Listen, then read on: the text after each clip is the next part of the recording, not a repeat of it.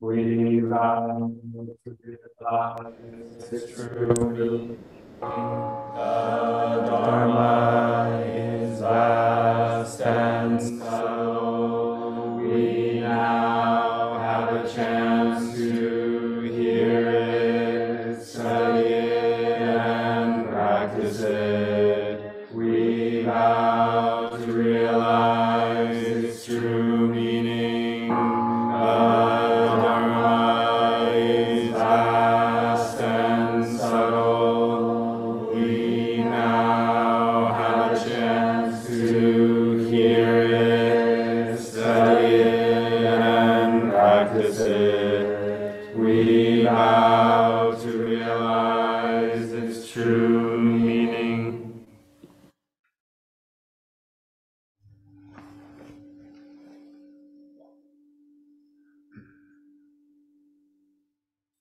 Hello, everyone. It's a little different to be on the other side. Yeah. I wonder this is how like uh, death is like, right? When you're on the other side looking around at life. Uh, first and foremost, I'd like to thank Roshi for this beautiful opportunity. I feel so honored and humbled to be given this platform uh, to share the Dhamma. So it's just unbelievable. I never thought I would have been doing this here, you know? Never in my wildest dreams, but this is my karma, so here I am. And then um, our tradition, we always start off by paying respects uh, to the Buddha uh, before we start, and I would like to share that with you. So I'll pay respects three times to the Buddha. I'll tell you what that means, and all you have to do is put your hands in gassho. Okay? Namo tassa bhagavato arahato සම්මා සම්බුද්දස්සේ නමෝ තස්සේ භගවතු අරහතෝ සම්මා සම්බුද්දස්සේ නමෝ තස්සේ bhagavato arahato samma sambuddhassa.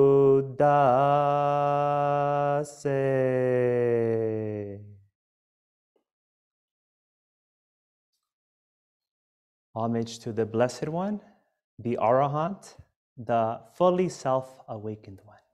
That's what it means. Some of you that know Sanskrit probably figured that out. Um, so I, you know, I don't know if you've heard this saying.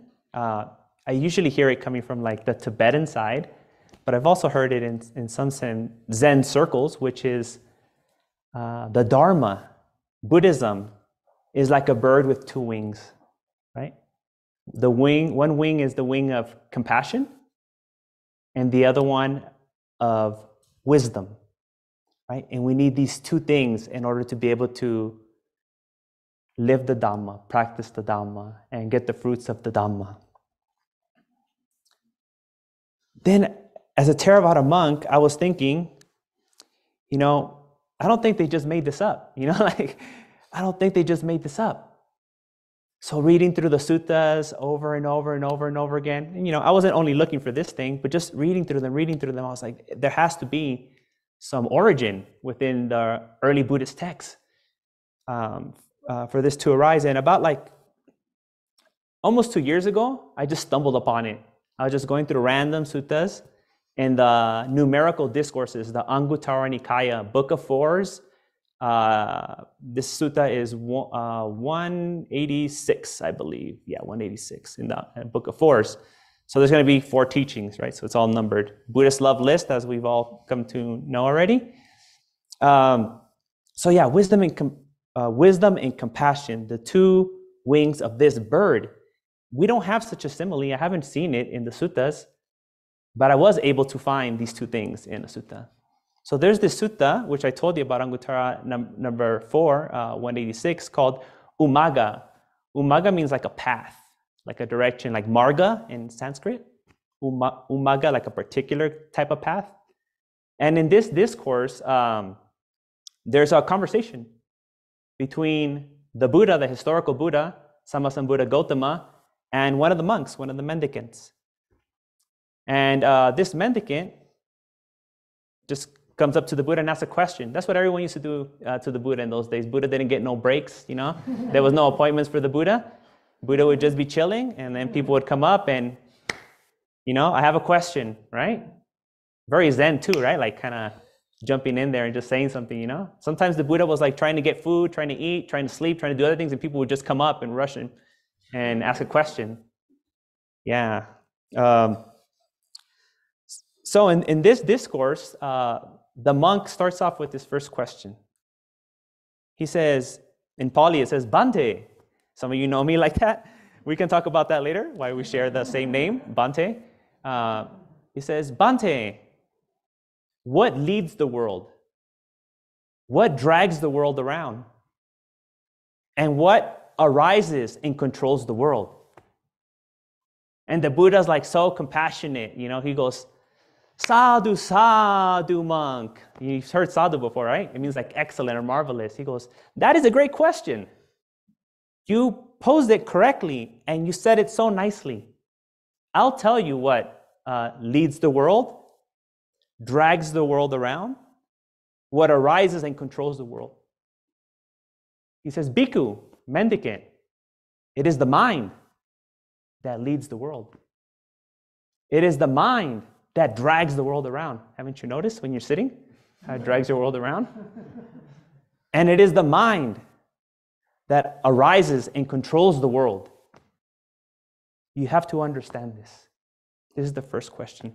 The first two questions have really nothing to do with the wisdom and compassion, but I want to go through the whole thing because they're still very nice questions, very important. So, um, this ver- this this kind of uh, idea of the importance of the mind is everywhere, you know? That's why there's these whole questions is Buddhism really a religion? Is it a philosophy? Is it psychology? All these things, because there's just so much emphasis on the mind. And I don't know if some of you are familiar with the Dhammapada, the Dharmapada, right? There's over like 400 something verses in there. I don't remember. I had to memorize them a long time ago. Now I'm just like put them to the side, like dump them, like when you're studying for school. You just get the information, pass the test, and you're like, okay, put it to the side. So I don't remember all of them. But the first two, you know, we could have, the Buddha could have started or the monks could have organized this collection in any way. But the first two verses here talk about this. Mano pubbangama dhamma manosettha mano maya. What does that mean? Mind is the forerunner. Mind is the creator, right? Mind is the most important thing. Then the Buddha goes on uh, whatever one thinks, for the good or the bad, that will be their experience. That will be their world. That will be their life. If you think in an unwholesome way, in a bad way, he says you're going to be like a ox or a bull that's tied to a cart with all this heavy weight, just dragging yourself around life, around the world, right? Because the mind drags the world around as I told you in the Ummagga Sutta.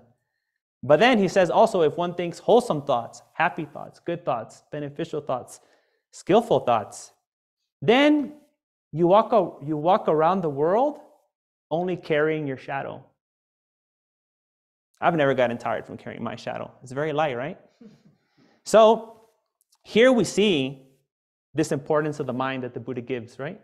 What we think.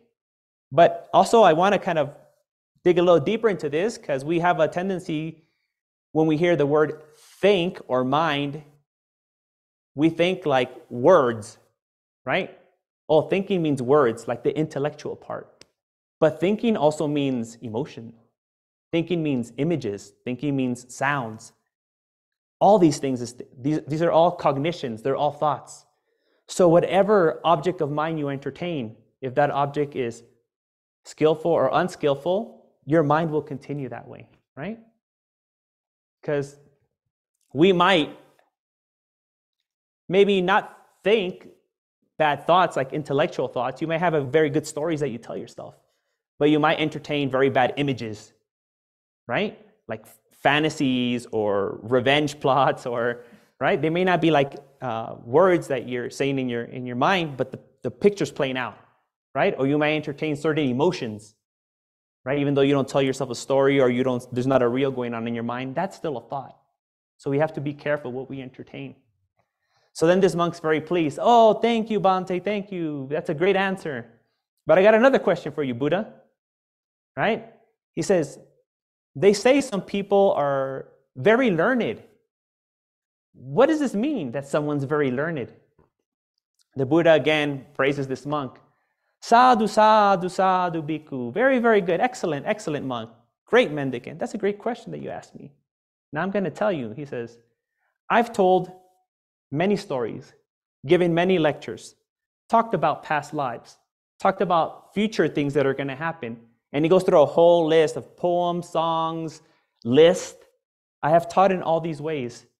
But if someone, some of you might recognize this, but if someone were to only memorize four lines of any of these things, they can be considered a learned person.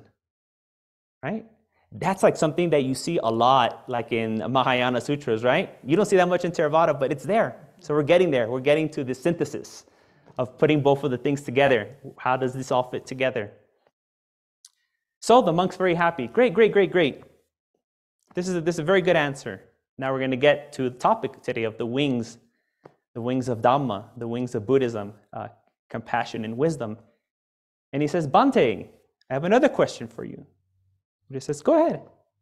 Then the monk says, uh, Who is a person who is learned in penetrative wisdom? Uh, learn it here, they use suttava. I just want to be clear because they changed. Learned doesn't, it's not always the same word. Here, suttava means someone who listens. In those days, there wasn't any books. So if you want to be learned, you had to listen, right? So people would just drop into all these lectures or just listen to the monks talk or the Buddha talk or all these different uh, religious teachers talking. So a learned person was someone who heard a lot, who listened a lot. I think we're kind of getting there now with like podcasts, right? That's what kind of what we're doing. We're like going back to like learning a lot through listening instead of like reading. I don't think that many people read anymore. Um, so who is a person who's very learned in penetrative wisdom? Penetrative wisdom Nibbedhika panyo. Panyo is prajna. Panya prajna, right? Wisdom. And nibbedhika means piercing, penetrating, like Manjushri over here with the sword, right? Cutting through. What is that type of wisdom? Is going to be no surprise to you here. The Buddha says, uh, one uh, who has listened to or learned what is dukkha, suffering, that person is a learned person in penetrative wisdom, piercing wisdom. One who has learned about uh, dukkha samudaya, the arising, the cause, the origin of dukkha, of suffering, that person can be considered a learned person in penetrative wisdom. One who has learned, who has studied, who has listened to uh, uh, dukkha nirodha, the cessation of suffering, freedom from suffering, the turning off of suffering. Someone who has studied this can also be considered a learned person in penetrative wisdom. And one who has learned, listened to, etc., uh, dukkha nirodho gamini patipada. Break it down for you. Dukkha, suffering, nirodho, cessation, gamini, leading, patipada, path. One who has studied the path to the cessation of suffering. One who's done this, who has learned this, that person can also be considered a learned person uh, in penetrative wisdom. So, going back to the two wings of wisdom and compassion of this bird, this would fall under wisdom, proper wisdom, prajna, the one wing, Four Noble Truths. What else will we have here? Paticca Samuppada, Praticca Samuppada, right? The 12 steps of dependent origination. That's another way that we can understand it. How else can we understand it? We can understand it by the clinging or the attachment to the five skandhas. That's also penetrative wisdom. Also, anicca, dukkha, anatta, impermanence, uh, suffering, and non self. That's also penetrative wisdom. So within this wisdom wing, we have all of these more philosophical, you know, more scholarly or more mystical, contemplative kind of aspect uh, uh, to the practice. So the monk's very satisfied. Oh, thank you, Bhante. That was a very, very good answer. I'm so happy that you shared that with me. But I still have another question for you. You know, they talk about uh, a learned person in vast or great wisdom. Who is the learned person in vast slash great wisdom? So here they use, uh, for learned, they use pandito, like a pandita or a pandit, someone who's like a scholar, you know? And uh, for this great wisdom, they use something very similar. Maybe you can catch it even if I say it in Pali. Mahapanya. Mahaprajna. Sound familiar, right? Mahaprajna. What is Mahaprajna? Right? Who is a person who is a, a pundit, a scholarly person, a learned person in Mahaprajna? The Buddha says, Sadhu, sadhu, bhikkhu. Excellent, excellent. Another great question. I love how you pose that question. I'm going to give you the answer. A person who does not harm themselves, a person who does not harm another, a person who doesn't harm anyone at all, a person who works for the benefit of oneself, a person who works for the benefit of others, a person who works for the benefit of all. That person is considered a learned person in Mahaprajna. When I saw that, I was like, wow, Mahaprajna is compassion, right? Mahaprajna paramita? What does that mean? The perfection of vast or great wisdom. What is this great wisdom, at least according to this particular discourse? Compassion, loving kindness, altruistic joy, equanimity, the Brahma Viharas, right? Compassion doesn't come by itself. Some, when, in Mahayana, from my understanding, when we talk about compassion, it includes all the Brahma Viharas. And in Theravada, when we talk about loving kindness, metta, it also includes all of them, you know? We just have like different things that we emphasize to start, or different entrances, different Dharma gates to get into that uh, divine dwelling of the Brahma Viharas. So when I was reading the sutta, I was like, finally, like here it is. We have the vast wisdom and the penetrative wisdom. But here's something interesting they're both wisdom, right? The nibbedhika, the penetrative wisdom, is wisdom, and also this uh, maha, mahaprajna, mahapanya, compassion is wisdom. So I was thinking, this bird doesn't have two wings, right? this bird just like hovers like a UFO. Because uh, there's only wisdom. One wing is the penetrative wisdom, the other wing is the vast wisdom. There's only wisdom, right? Uh, so to be a compassionate person means to be a wise person.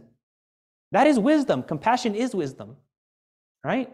It's not, it's not just that uh, without wisdom you can't have compassion, or without compassion you can't have wisdom, but actually, compassion is wisdom, and wisdom is compassion, right?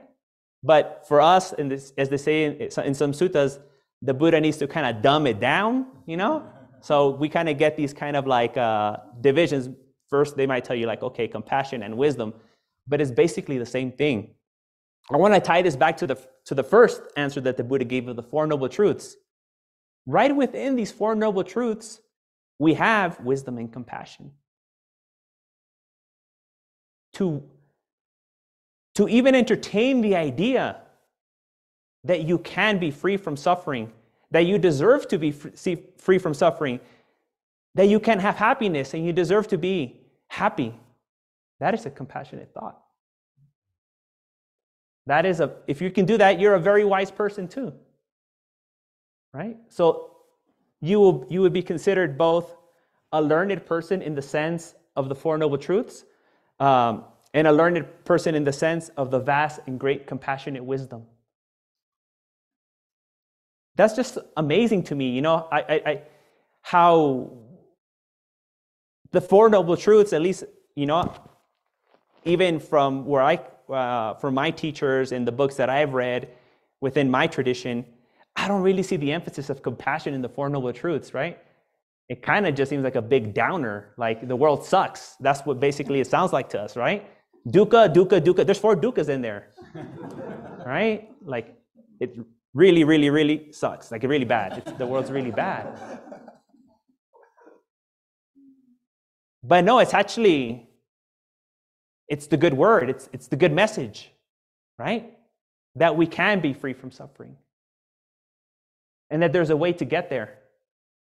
But it's not only it's not only for ourselves, although that might be the critique from other schools about Theravada, that it's only for ourselves. Um, we recognize that as I am, so are they. As they are, so am I.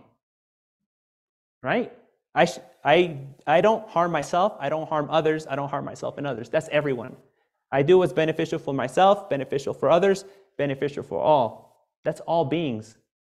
So if they're suffering, that means I work towards not only t- reducing my own suffering, but that of others. And not only others and not myself, but including myself, right? All of us together. Sometimes when we think about compassion, it's very outward driven, right? It means for other people. We say all beings, and I think one of the uh, teachers a few weeks ago, I don't remember exactly when, they said, no, that means us too. We are all beings. We're one of those beings. Sabesata, bhavantu sukhitatta, sabesata, all beings, right? Deserve to be well. All beings uh, deserve to be happy. That means us. There isn't only being compassionate towards others, there's being compassionate towards yourself. And then one that, you know, at times I found very difficult is uh, receiving compassion from others, right? like, oh yeah, I should be happy. Others should be happy. And then when other people, someone else tries to help me, oh no, no, I got it. I'm good. You know, oh, it's okay. You know, I don't want to bother you. That's not very compassionate t- towards myself, right? It's hard to accept compassion. So with, within the Four Noble Truths, we have these two wings of wisdom and compassion. And I really want to deep, dig deeper into this Mahaprajna or Mahapanya. This is based, this understanding of not wanting to hurt oneself, not wanting to hurt others, not wanting to hurt any being, and to do what's beneficial for oneself, to do what's beneficial for others, and to do what's beneficial for all is based on this, this little phrase that I gave you, and the Buddha repeats over and over and over again in the suttas As I am, so are they. As they are, so am I. Then he says, taking this into consideration, one shouldn't harm or tell another to harm any living being. So I found this very interesting that to begin this practice, you have to step out of yourself. You have to be able to empathize, right? You have to stop being egocentric and actually look out at other beings and see how they're like you. I don't like to get sick. I don't think other beings like to get sick, except for like elementary school kids. They love getting sick, right? Because they don't have to go to school. But besides them, that's the one exception, no one likes to get sick. No one likes to get old except for teenagers because they want their driver's license, they want to be 18 so they can move out, and they want to get drunk or whatever. That one exception to the side, no one else wants to get old, right? And nobody wants to die, right? I don't got a joke for that one. I think that one's a very serious matter. That's why every night, right? Life and death is of supreme importance. No, because no one wants to die. Don't waste your time, right? It's not only me who doesn't like these things. I know my sister, my mom, the other monks, Many of you, most beings, the Buddha says all beings tremble when they're being attacked. All beings tremble. Here's something very interesting. The word karuna is actually not very close to our word in English, compassion. There is a word in Pali that's very close to compassion. And we have to say it when we get our ordination. It's called anukampa. It means to tremble with right? Your pain is my pain. I feel that pain. I resonate with it. To tremble with anukampa. So when I, be, when I became a monk and I took my ordination, I said, Bhante, out of compassion, please give me the ordination, right? He had to resonate with my, with, with my pain. The monk had to be compassionate. He had to understand dukkha in order for, me, in order for him to understand why I was taking this, right? Why I was taking this vow. So it's very interesting that even within, you know, my tradition, the path to renunciation, the path to becoming a, a monk, I mean, you, you literally have to ask for the compassion of another being. Compassion is right in there. You know, it's weaved in there. And that word is very, very close to our compassion. Word, actually, karuna is, very, is a lot closer to kindness, to be kind. Because the opposite of uh, karuna is, is to harm, to hurt other living beings. So, what would be the opposite of like doing a harmful action? Well, to be doing a kind action, a beneficial action, right? To help others. That's why um, Bhante Gunaratana uh, from the Bhavana Society, he talks about that he doesn't like using loving kindness, you know, for, for Maitri, for metta. He's like, because we already have kindness in the next one. And compassion, well, we already have the word anukampa for compassion. And loving kindness kind of feels weird. Like, who, who has ever just felt loving kindness on its own, right? We know love and we know kindness. Loving kindness is kind of a weird concept, right? But, anyways, I'm going into some rant about definitions and etymology. Some people here might know that that's a habit that I have, uh, sankhara. I'm trying to get over that sankhara. Luckily enough, that sankhara is also impermanent. So at some point, I'll get over it. Uh, so I want to focus on these Brahma Viharas. Brahma, because compassion, we're talking about the wing of compassion. That's what I want to focus on. Mahaprajna uh, starts with Maitri, which in Pali we call metta. Metta means that you recognize that in the same way that I want to be well, happy, comfortable, and peaceful, etc., etc., other beings also want that. Right? So may they be happy. That is what Maitri means. That's what we usually translate as loving kindness. Recognizing that other beings are actually alive, there's someone in there, there's something going on, and that they want to be happy, that the world is not just about me. That is the meaning of, the, of Maitri, of Metta, the first Brahma Vihara. Not putting your happiness above others. Also, not putting other people's happiness above your own. Everyone's happiness is equal, of equal value. Because there's many traps there, right? Like, oh, I should be happy. Who cares about the rest? Or everyone else should be happy. Um, I'm unworthy. I'm a bad person. No, no, no. True happiness is when everyone's happy. That's the only happiness there is. Then we have um, karuna, which is the same in Pali and Sanskrit, so that works out really nice. Uh, and that is the wish that other beings be free from suffering.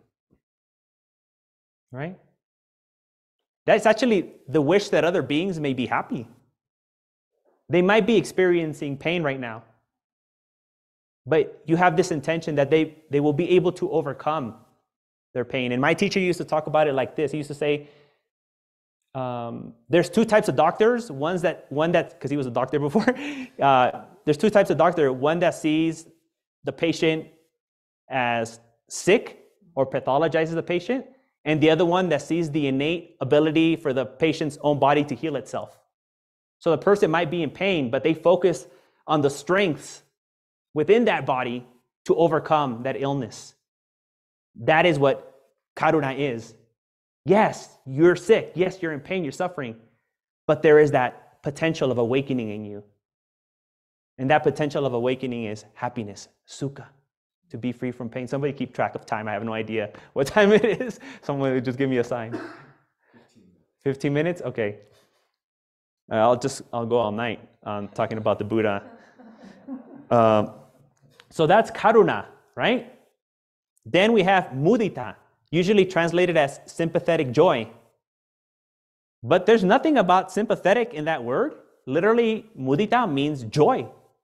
It just means joy, gladness, to be happy, right?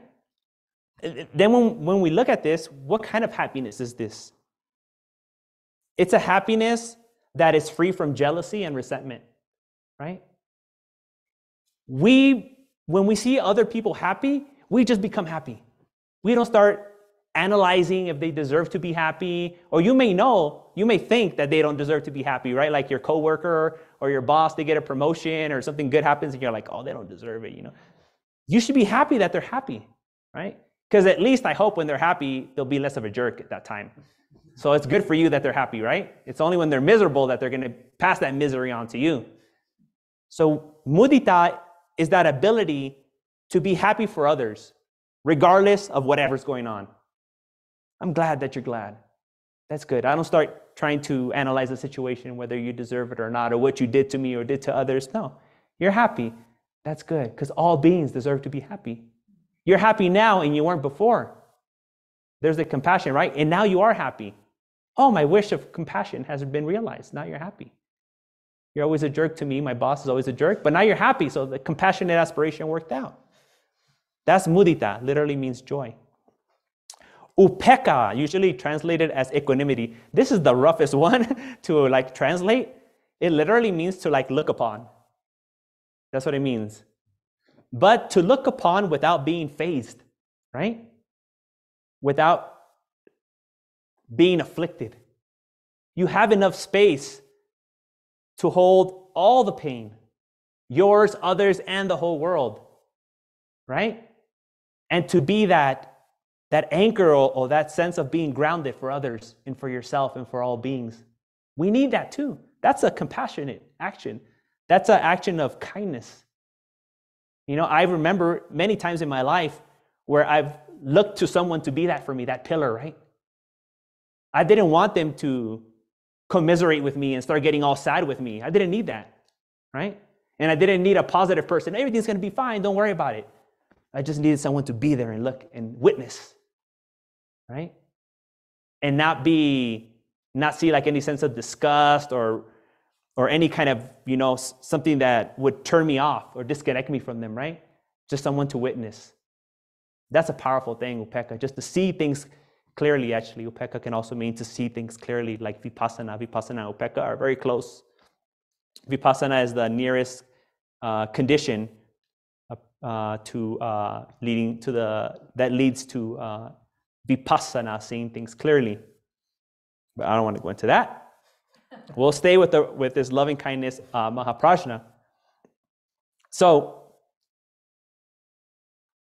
here's, here's a very, very uh, like interesting uh, thing about these two wings of compassion, loving kindness, uh, Mahaprajna, and penetrative wisdom, uh, the four noble truths, is that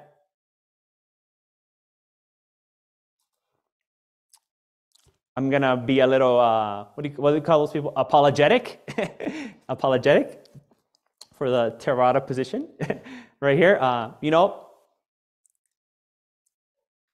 the, the Theravada monks also are very much concerned for the well-being of others. You know, we do have this aspiration for all beings to be free from suffering. We want we want that to happen. It's there all over the suttas. But, uh, you know, for some reason, it's not being shared enough, right? And I think, you know, our side plays very much into this kind of like solitary, ascetic, running away from the world, doing my own thing, meditating in a little hut, you know, looking out for my own liberation. But there is no liberation without others. There isn't. There isn't. Even when you look at the time of the Buddha, the Buddha became awakened, then five beings became awakened, then thousands of beings became awakened, then thousands and thousands of beings became awakened.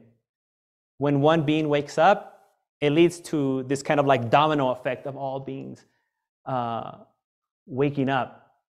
So even if one comes from this position of like, I am going to wake up, even if you, your intention is kind of um, egocentric, if you do get any fruits from that practice, there will be ripples from that. If you stop hurting living beings, right? If you refrain from killing, other beings will be happy. They don't have to fear you, they're free from fear, right? And having that condition to be free from fear, that condition of being happy, of not worrying about being killed, is a very good condition for awakening. Everything that happens happens due to the presence of the necessary conditions, cause and effect. we need to create the conditions for awakening. One way to create the conditions of, for awakening is to stop being violent in body, speech, and mind. So even if you take on the precepts for a very selfish way, I know when I first came to this practice, it was all about all my drama, all my sadness, all my pain. I wanted to be free from it. I know other people people had pain, but my pain, you know, you really feel it. I really feel my pain. I wanted to be free from it. But I noticed, like especially with my family, when I was thanks to the Dhamma, when I was practicing the Dhamma, this pain started finding its place and kind of started uh, being calm and more subtle. There was ripple effects throughout my whole family. You know, I stopped being less of a jerk, less isolated. People were like my mom. All moms are happy to see their kids happy. So I was less of a jerk. I was more happy. My mom was automatically happy too. You know? So sometimes we miss these kind of like little subtleties of the practice of compassion. We think compassion means to be like a member of the Justice League or, right, like the Avengers or something like that. If I'm that person or if I'm the Buddha, then I'm a compassionate being. You know, but if I'm just at home, then I guess, or just being nice to my family, then I'm not really compassionate. No, that, that is compassion. There, compassion in any form is compassion, and 100% compassion in, in every way. Even just thinking the thoughts. Remember the beginning about the thoughts, about how the mind is dragged around?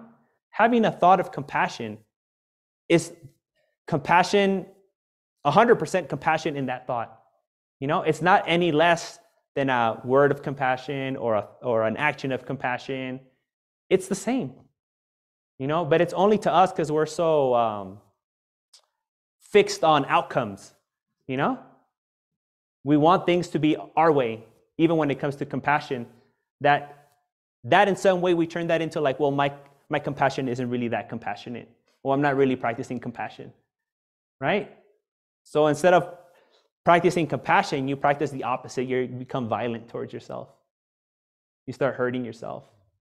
But the buddha said no no no. You cannot hurt yourself you cannot hurt yourself. You cannot hurt others and you cannot hurt yourself and others.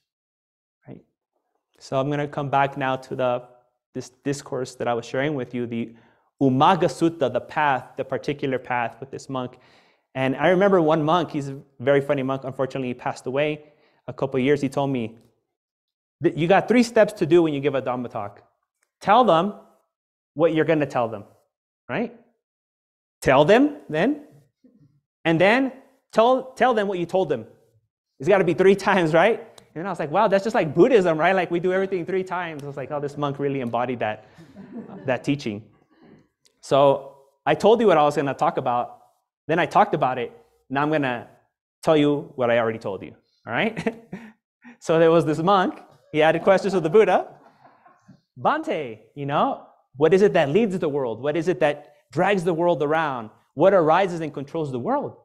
It is the mind that leads the world. It is the mind that drags the world around. It is the mind that arises and controls the world. Bhante, who is a learned person? How can someone be considered uh, a learned person.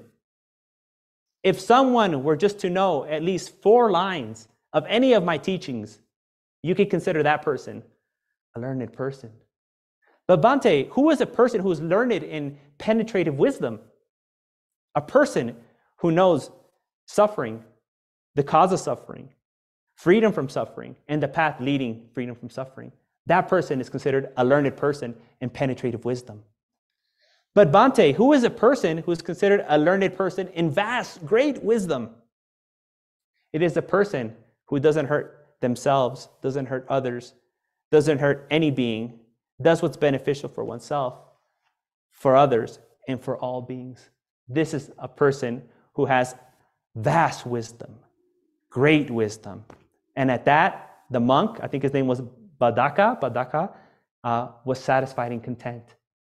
And that's how most of the suttas end. All the monks are happy. There's one sutta where the monks are not happy. And that's because the Buddha rebukes them. And he's like, no, no, no, naughty, naughty monks. And they're not, they're not happy with that. But all the other times, except for that one, they're all happy with what the Buddha said.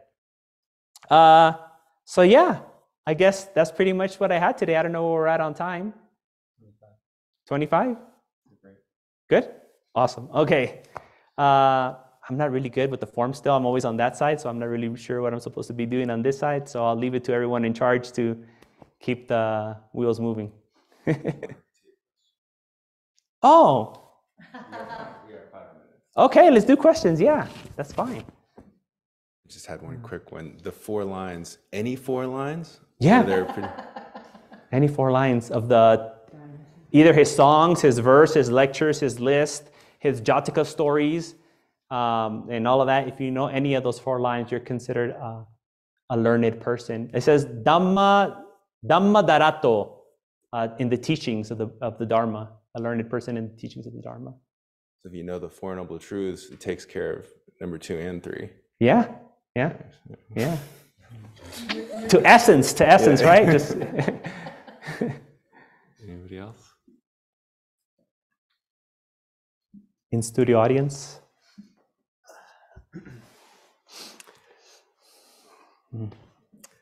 So when we uh, we mentioned the mind, Mhm. um, where does like a tree or a rock Mhm. play into that?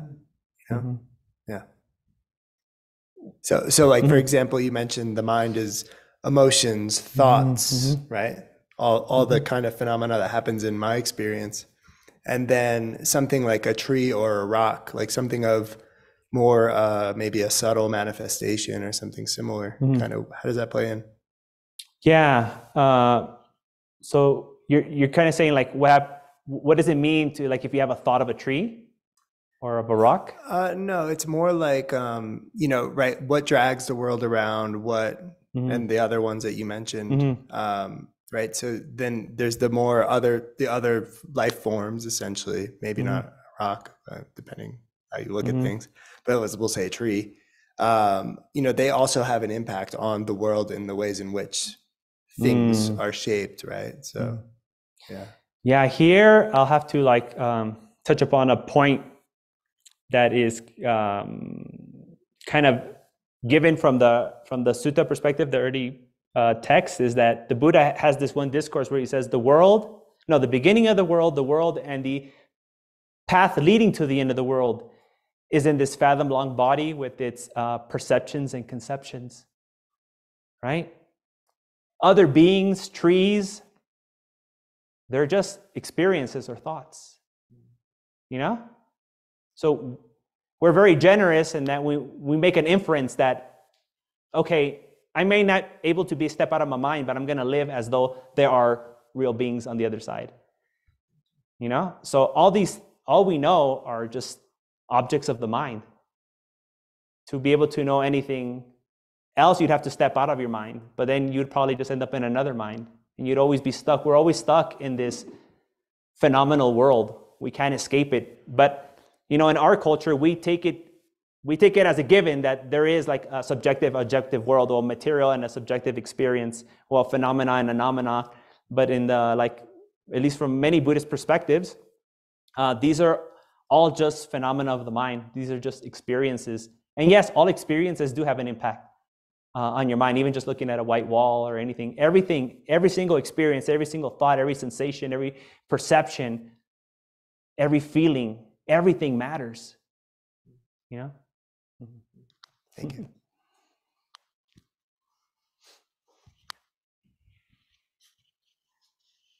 So in the beginning, you said you would explain Bhante. Bhante. Oh, okay. Thank you. Um, keeping me to my word. Um, yeah. yeah. So, um, according to the to uh, according to the Pali Suttas, um, during the time of the Buddha, only one being was referred to as Bhante, and that was the Sammasambuddha Gautama. And all the monks would refer to themselves as to each other as avuso. Avuso means friend. But in the Mahaparinibbana Sutta, in the last weeks of the Buddha's life, when the Buddha's about to pass away, he's laying on his side. He says, uh, After my passing away, the monks will no longer refer to each other as friends. The junior monks will call the senior monks Bhante, and the senior monks will call the junior monks Avuso, friend.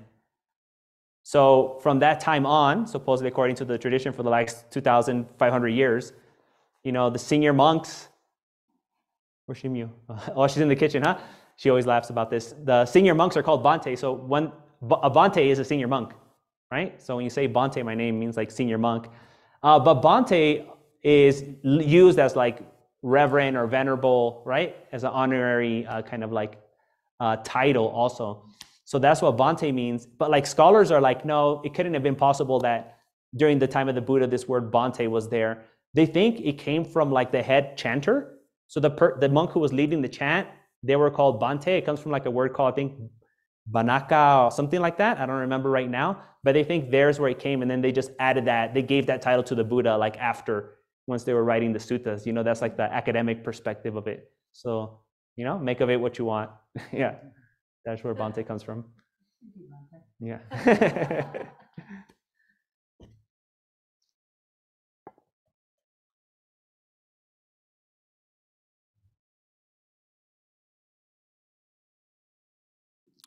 Oh, dedication of merit? Got time? Yeah, all right. dedication of merit. Okay. So by coming here and listening to the Dhamma talk, you have developed many skillful states of mind. Uh, kusala Dhamma, which is also a skillful action by thinking about them. Uh, kusala Kamma, and these skillful states of mind result in merit, punya, which is called punya kamma, meritorious deeds. So by the power of these meritorious actions, May you be free from bad company and always have good companions until you attain Nibbana. Now we'll do the formal Pali. Imina punya kamena මාමේ බාල සමාගමෝ සතම් සමාගෙමෝ හෝතු